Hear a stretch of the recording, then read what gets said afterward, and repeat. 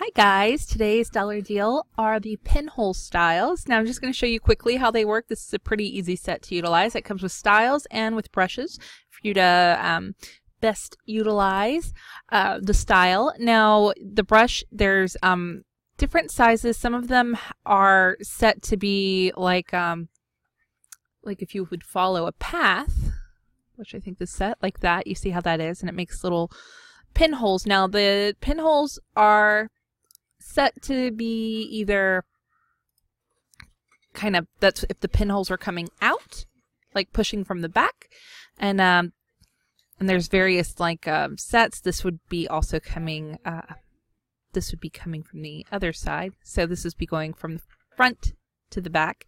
And then these are the ones that make it look like the paper has kind of like popped out from the front. I love those. Those are the, those are my favorite for sure. So there's um various little effects you can see there. It's a pretty neat set of styles. Now I'm going to show you how you would use these, let's say with um something like a pen or with staples. So I'm going to go ahead. I have this uh, staple element here that I've been playing with and creating shading, and I want to go ahead and um, create a pinhole. Now there's another brush. It's a larger brush. This is 50 um, pixels. You can see there it's fairly large.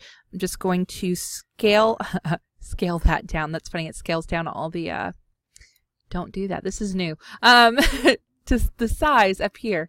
So I'm just going to scale down the size to kind of get a feel for um, what I want that to be. Doesn't matter what color currently because I'm just going to go ahead and do that and then apply um, the style to it.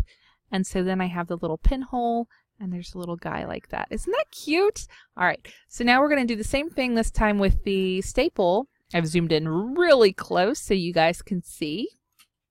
Just creating a layer underneath my element, and I'm just going to um, stamp. Now the brush is set so what happens is it rotates and um, skews and stuff so every time you press it, it looks a little different so it doesn't look like the same thing over and over again as you can see there.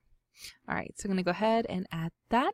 And um, this time we're just going to go through the various uh, styles uh, so you can see what, again, what each one does and um, what you would like. So here we go. This is the first. And then there's like different lighting effects on these. That's a little stronger of an effect you can see there.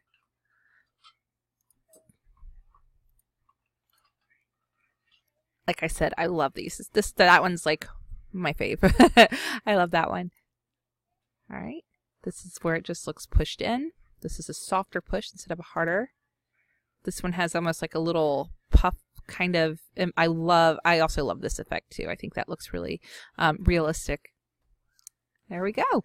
So that's what this is. This is a, a detail, what I consider to be like a, a detail sort of style where you're really trying to achieve that ultra realistic effect um, instead of just having the staple element and, you know, give it a drop shadow or a slight shadow and be done. This is a, all right, let's add the little holes that the, um, would be in the paper, you know, so just a little bit extra. And also, again, a really fun um, set with these extra brushes that you can see there. You could um, make your own um, little accents. So instead of t- stitching um, just the little pinholes, it, it looks pretty neat. I, I like the effect a lot. So hopefully you guys do too and enjoy today's deal. I'll see y'all tomorrow. Bye bye.